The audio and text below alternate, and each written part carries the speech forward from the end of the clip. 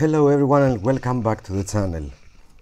In this video we will take a look at this body control module.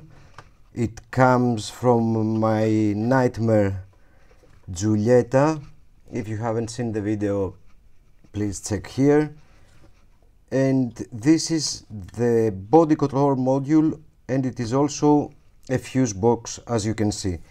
It looks like this with all the fuses connected. It, it has one more plug, a, a couple more plugs at the back and fighting with those problems I had to disassemble this and take a look inside. I have seen many comments on the internet. I think it should be about these fuse, these fuses here, uh, which do tend to crack, and actually a couple of those looked a bit like that. Like that. These are the standoffs for the fuses plugs, plugs, plugs and plugs here. Now the interconnection as you can see here uh, is a press fit part.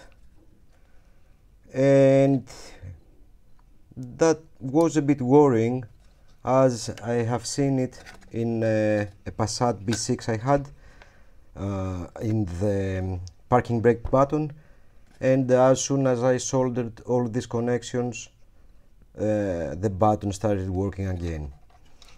Uh, also, so the one thing I did, there is a couple, one here and one here, I did solder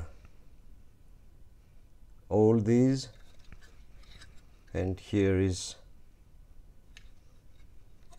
the back side. Where is it? Here.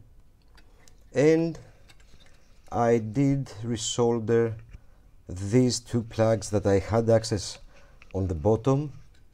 They had a really strange uh, flux resin that worked actually extremely well. Those are the two plugs. Um, I truly believe it won't hurt it now that everything is soldered properly.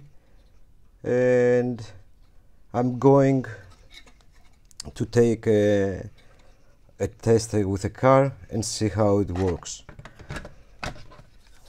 Also I did as we said those fuses uh, those resistors sorry. A very very troubling thing was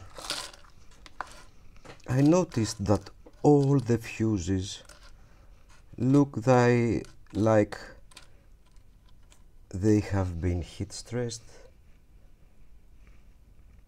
I don't know if you can see that and each one of them looks exactly that, like that.